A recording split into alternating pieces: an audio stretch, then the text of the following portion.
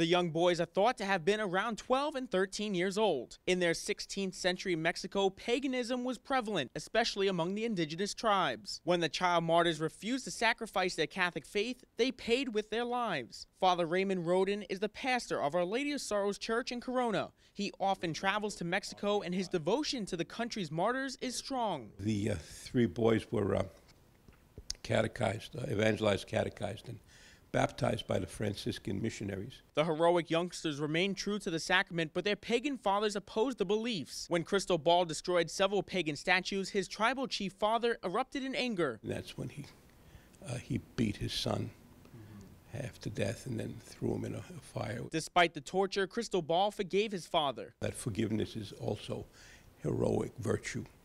Uh, in, in such distress, he was able to forgive. One of the other soon to be saints, Antonio, also lived in a tribal family where the third boy, Juan, was employed. Juan was Antonio's um, uh, servant. He had his own personal servant. They were also friends, though. You know, they treated each other as friends, as brothers. They also followed Christ. When Juan and Antonio rejected paganism, other members of the tribe clubbed them to death. All three martyrdoms occurred in the early part of the 16th century. Today, at Our Lady of Sorrows Catholic Academy, students are becoming familiar with the inspirational stories. They had a very strong faith that to be willing to die for that for our God because like not everyone does that. That proves that they have much more faith in the Lord than anything else. And they're encouraged to learn young boys of similar ages are on the verge of becoming saints. It doesn't matter what age, it matters if our faith, if we believe strongly enough in God, anything is possible. Cristobal, Antonio, and Juan will be elevated to sainthood by Pope Francis this Sunday in St. Peter's Square. In Corona, Queens, Tim Harfmann, Currents News.